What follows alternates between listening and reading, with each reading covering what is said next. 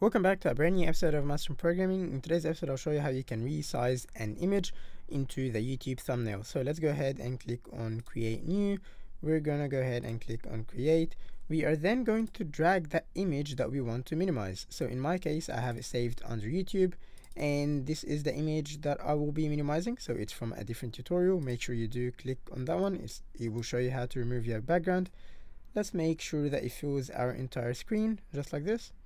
Now let's make this big again. It's actually very easy to reduce the size of an image in Photoshop. Or what we will do is we will go to image. We're going to go to image size. And as you can see right now, it's telling us that the image size is 5.93 megabytes.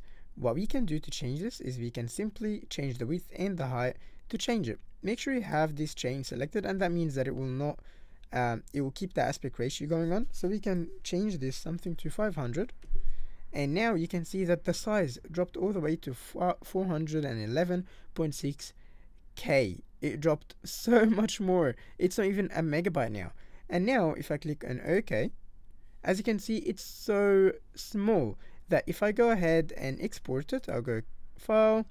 I'll click on export quick export as PNG and I'll just save it as small. And let's save it on desktop.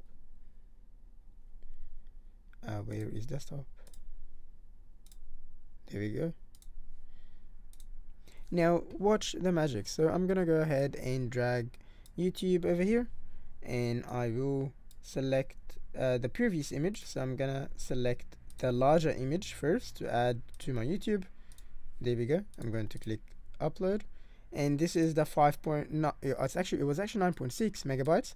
I'm gonna click choose for upload upload. As you can see it's too large. But if I go ahead and go to desktop and select the new one and as you can see it's really small. If I click choose for upload it perfectly fits it fit it fills the entire frame and you're now able to actually upload it. Thanks so much for watching. That was it for this episode. I hope you learned something.